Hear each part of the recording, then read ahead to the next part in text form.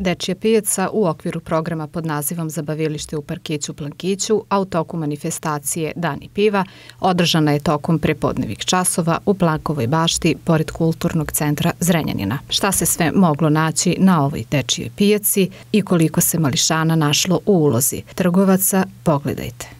Unija poslodavaca, tačnije sekcija za žensko preduzetništvo, već godinama unazad organizuje dečju pijacu i nama je jako drago što su nas prepoznali i drugi organizatori raznih festivala, tako da smo se udružili i danas smo u Plankovoj bašti u ovom predivnom e, parku i napravili smo jedan program za decu i po meni i za odrasle, tako da svi uživaju. Ono što je bitno, e, naš cilj kao organizatora jeste da promovišemo preduzetnički duh kod dece i to je po nama vrlo korisno jer oni kao mladi već mogu da nauče da cene novac, ali isto tako ovaj, i da e, cene i svoje stvari i da probaju da produže vek svojim igračkama, jer ovde na dečjoj pijaci oni praktično mogu da prodaju igračke koje više ne koriste i na taj način učimo ih da ne treba bacati stvari, neko naći način da se prosto produži vek određenim igračkama i stvarima.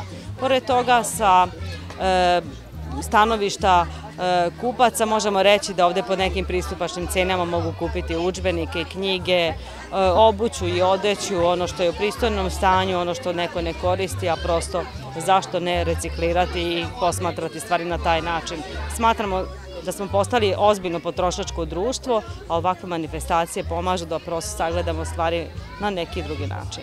Koja je ovo po redu dečija pijaca? Ovo je osma dečija pijaca i e, možemo reći da već tradicionalno tri puta godišnje organizujemo dečiju pijacu. Koliko učesnika danas imamo? Kao organizatori znamo da smo e, obezbedili 32 tezge, ali na nekim tezgama imamo više dece. Podelili smo 60 paketića, tako da znamo da imamo 60 trgovaca. Danas prepodne nam se prvo održava dečija pijaca e, u saradnji sa Unijom poslodavaca grada Zrenjanina. Nakon toga ćemo imati paralelne tri radionice e, sa školom 9. maj.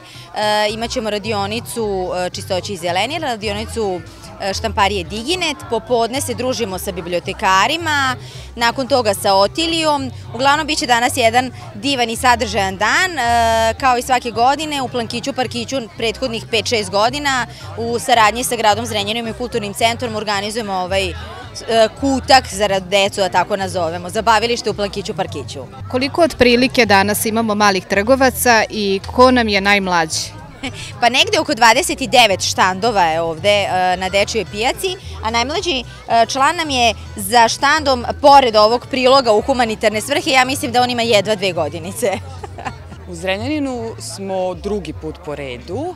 E, danas smo se ovde locirali kako bi sakupili sredstva za lečenje malog Lea Milića i male Leone Kovač. E, Leo putuje u Tursku 21. na matične ćelije i trenutno mu nedostaje još 5000 eura kako bi dobio matične ćelije. E, nakon toga je potrebno još 9000 eura kako bi primio e, šestu dozu matičnih ćelija a Leona Kovač je dete koje ima cerebralnu paralizu, hidrocefalus i njoj su konstantno sredstva potrebna radi lečenja i vežbi. Dugo se bavite humanitarnim radom? Tako je za četiri godine na teritoriji Subotice e, delujemo tako što pomažemo najugroženijim porodicama i konstantno organizujemo humanitarne bazare i što više akcija kako bi pomogli deci koje su isključivo članovi fondacije Budi Human. Ovim putem želim da se zahvalim e, gradu Zrenjaninu, lokalnoj samoupravi na čelu sa gradonačelnikom Simom Salapurom na saradnji i na odobrenju postavljanja humanitarnih kutija. Jako smo srećni i zadovoljni, bili smo i juče i danas, bit ćemo i sutra i zaista bih voljela da iskoristim ovu priliku da se zahvalim i e, organizacijonom odboru i kulturnom centru i Nikoleti koji su nas primili mimo, ovaj, kako da kažem, tog nekog regularnog programa koji je bio već finaliziran. Malo smo zakasili zato što se Kliker centar u Zrenjaninu pojavio nakon što bila objavljena konačno ta e, lista učesnika.